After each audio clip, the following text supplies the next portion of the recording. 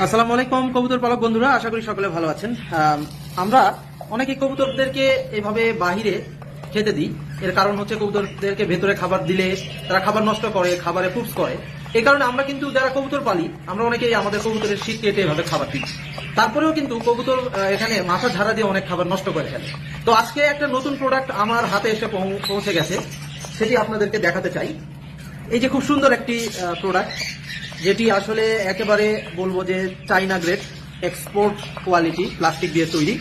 এবং আমরা খুব সহজেই এটার মাধ্যমে কবুতরদেরকে খাঁচার বাইরে খাবার দিতে পারব।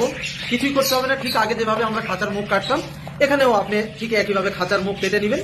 এরপরে এটি আপনারা সেট করে দিলেই কবুতর সেখান থেকে অনায়াসে খেতে পারবে এবং খাবার নষ্ট করার পরিমাণটাও অনেকখানি হ্রাস পাবে।